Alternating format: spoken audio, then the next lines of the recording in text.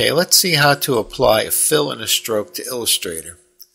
Okay, I've drawn a box here. It has a yellow fill and a blue stroke. The default fill and stroke for Illustrator is a white fill and a black stroke. And you can get back to that by clicking this little icon on the toolbox here. So if I click this while the box is selected, it's going to revert back to a white fill and a black stroke. Let me undo that by hitting Control Z.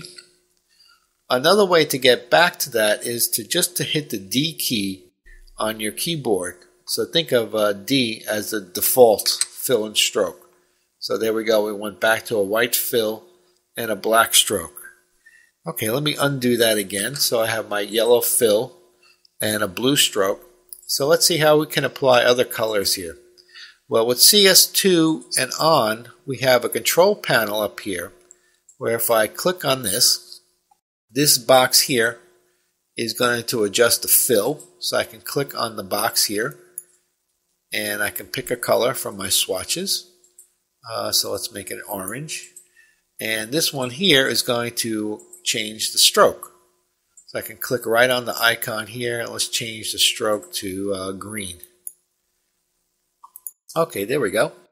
Another way to do it is right from your swatches panel by just clicking on a color. Well, first we have to select the object, but we have to look at this icon here. This also appears in the color panel and also on your toolbox. So when this filled box is in the front, this is going to control your fill. So if I were to select the color from my swatches, is going to change the fill color.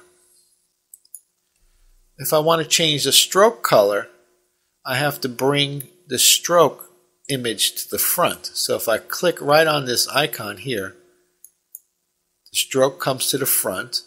And this also happens in the color panel.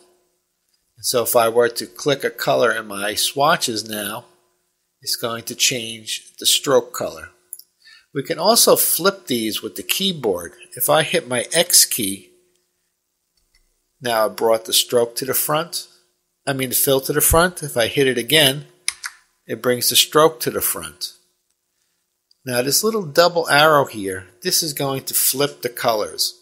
So now I have a yellow fill and a red stroke. If I click this arrow, it's going to become a red fill with a yellow stroke.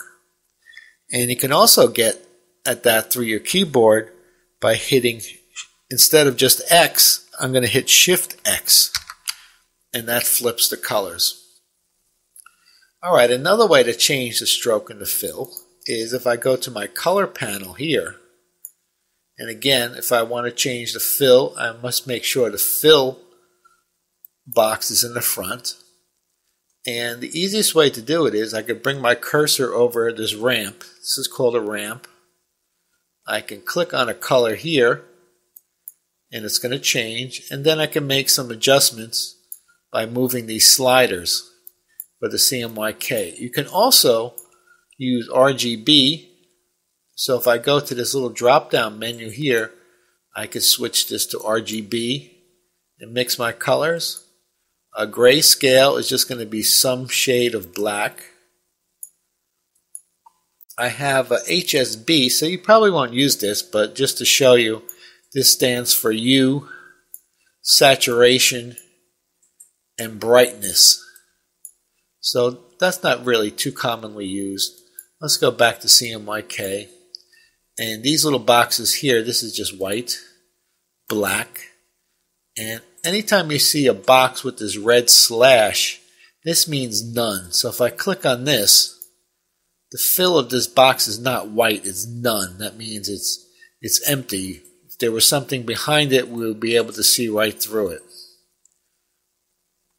Now, another way to flip through these uh, series, uh, let's give it a fill first, is instead of using this drop down menu, I can just bring my cursor over the ramp, hold down the shift key, and click and you can see it cycles through the different uh, color models here.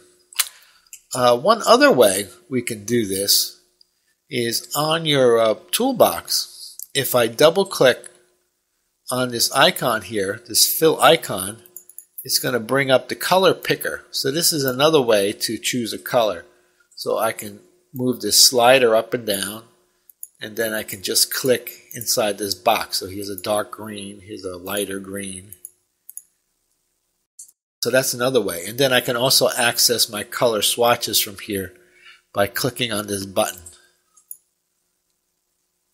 Let's go back to color modes. And you could also type in a value if you know what the value of that color is. So I'm going to click cancel. Uh, so that's basically it. And we'll talk more about this in our next class where you're going to learn how to save a color. And we're going to talk about gradients, the different kinds of fills in um, Illustrator. There's several kinds of fills. We have color swatches, gradient swatches, and pattern swatches. So we'll be looking into those too. Here's a little tip you can use when you're using the color panel here. Say you mix the color with your sliders and you like the color, but you just want it to be a little bit lighter or a little bit darker.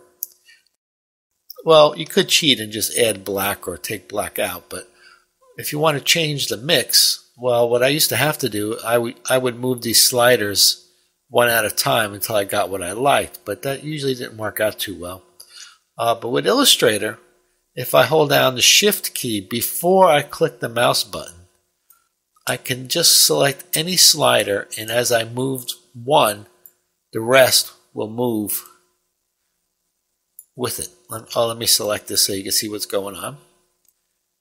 So if I move these up, it got darker.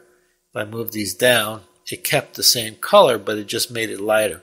And of course you should know, well, CMYK, if I add color, things get darker. RGB is the opposite. RGB, when you add color in RGB, I'm going to hold down the shift. Your color gets lighter, so that's the way RGB and CMYK work. Okay, so that's my little tip for today.